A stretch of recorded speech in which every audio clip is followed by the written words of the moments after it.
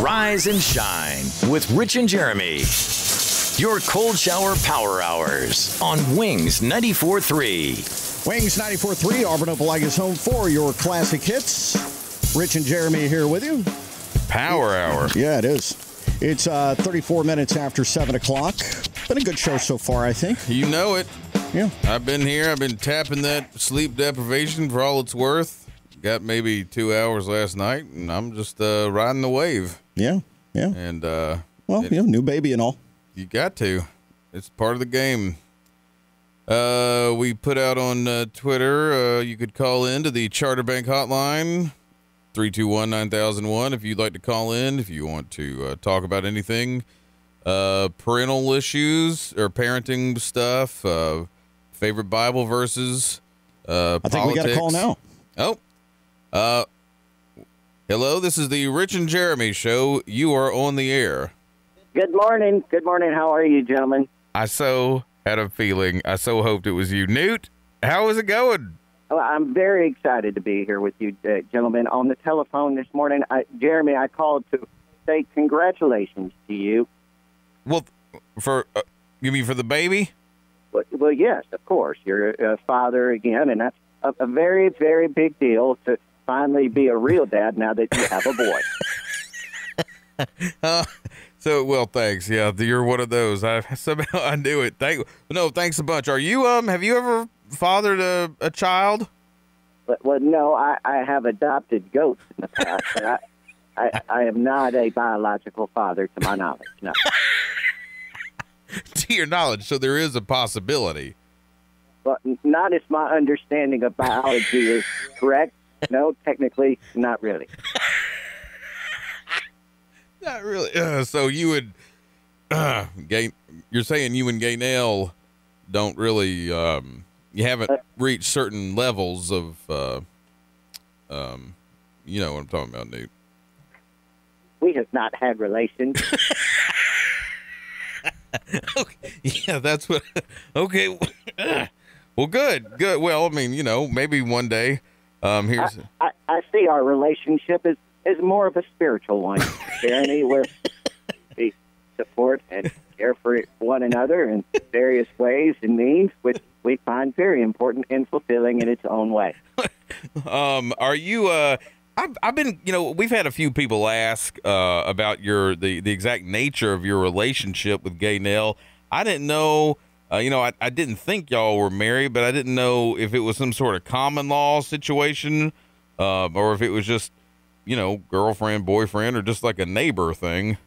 But I, I have long admired and and uh, uh, been very fond of Gaynell. Uh, she is the whole reason that I left my home of Chunky, Mississippi, to move to McComb because uh, Gaynell lived here in McComb. It's very rare that we are able to get back to my first place uh, in Chunky, but Chunky. Y- yes, Chunky. It's a, it's a bedroom community of Meridian, Mississippi. It's, it is in Newton County, uh, the county uh, that I was named after. Although, to be fair, my parents did not name me Newton; they just named me Newt. My father had a speech impediment. uh, chunky. So near Meridian, you know, I uh, as a as a as a kid, I would go on uh, trips with my grandparents, uh, business trips, and they would stop uh, in Meridian. There was this place, uh, this German restaurant. I'm not sure how this bears on what I'm about to say. Uh, named Weidmann's, uh, and they would uh, they made their own peanut butter. Um, and they had, had it on the tables like it was just butter for your crackers. Have you ever been there um, or anything? What's your favorite restaurant around there? Well, I, I have uh, been by the establishment that you speak of. They would not let me in. Uh, they required uh, shoes, shoes and a shirt to receive service. Apparently, they did not mind if I got some of the older used peanut butter out of the dumpster in the back. So you did. So was it? I mean, They have a very large rat population that abides by the dumpster, so I try not to go by there too much. It's been quite a while since I have been to the big city of Meridian. Uh, we like to stay close to home, Chunky. It's uh, it's a small community, but it's very, very close. Matter of fact, it's a little bit too close, which is why I prefer now to live closer to Gaynell in McComb, Mississippi. Well, uh, did you? so, so she is that where she was? I mean, she's from McComb originally, or, or is she? A, did she come from somewhere else? Gaynell has been a bit mysterious about her past, and as I do not want to anger her, I have not pressed the issue. but does she have like a southern accent? I mean, like you, you are, you know, are, are you? she's not a Yankee or anything. Her accent is sweet as butter. I mean, it is, it is as if it were lifting lilies drifting across honey-strewn. Well, you know, have y'all ever? I think I read that in the Bible. I'm not positive. Do you have? We've been talking about Bible verses. Is there a favorite book or story or verse or anything? A story that just has always uh, meant something to you? In all fairness, it could have been a Jackie Collins that I found in the bus station. Now that I think about it. yeah. Well, you know, people. A lot of people have makes that mistake. Oh God. Um, They're both very large books with with a large amount of print. Have, have y'all have y'all ever talked about um, you know I mean you know at this stage in the relationship I mean are there are any future plans or we just kind of got a nice status quo we're uh, riding out?